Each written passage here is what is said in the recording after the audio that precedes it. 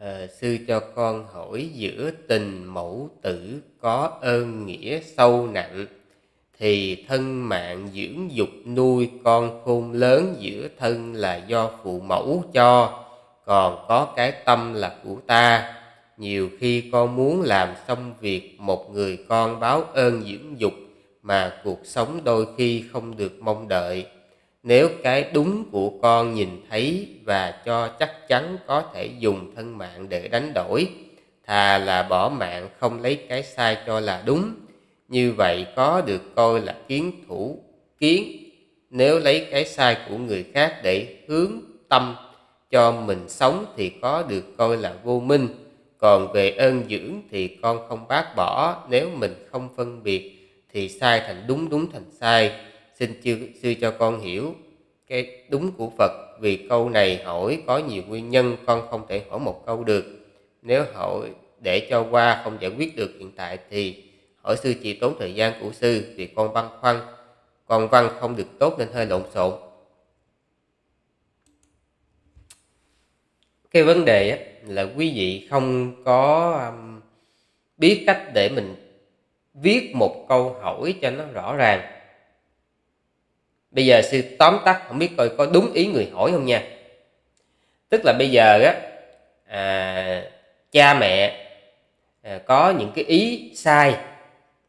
Mà bây giờ á mình thì mình à, biết cái gì là đúng chánh pháp cái gì sai chánh pháp. Mà cha mẹ đang sai chánh pháp như vậy thì mình có theo cái ý của cha mẹ hay không? Bởi vì sợ theo ý của cha mẹ thì thành ra bất hiếu.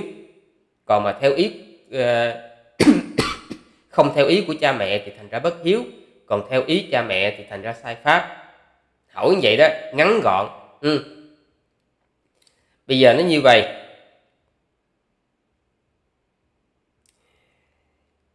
Cái đúng trong đạo phật là sự thực hành đúng theo pháp.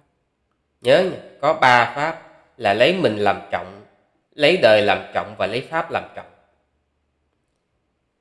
cái chuyện lấy mình làm trọng đó, tức là mình đúng sai theo ý của mình đó, cái đó nó nguy hiểm.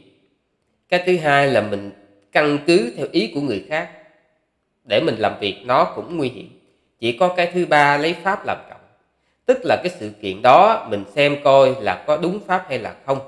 Nếu như nó đúng pháp thì mình làm còn nếu nó sai pháp thì không làm ví dụ như cha mẹ có kêu mình sát sanh, trộm cắp, tà dâm, nói dối, uống rượu, thì mình nhất quyết mình không làm. Thì như vậy dù cho mình làm trái ý cha mẹ thì vẫn không thể gọi là bất hiếu. Nhớ phận sự của một người con mà trả hiếu cho cha mẹ đó. Nha, một phận sự một đứa con để gọi là có hiếu là cha mẹ có tà kiến phải giúp đỡ cha mẹ có chánh kiến cha mẹ không giữ giới giúp cho cha mẹ có giữ giới. Cha mẹ bỏn sẻn giúp cho cha mẹ biết bố thí. À, cha mẹ không có niềm tin nơi tam bảo giúp cho cha mẹ có niềm tin nơi tam bảo. Thì đó mới là sự trả ơn cho cha mẹ chứ không phải cái chuyện là cha mẹ nói sao mình làm vậy.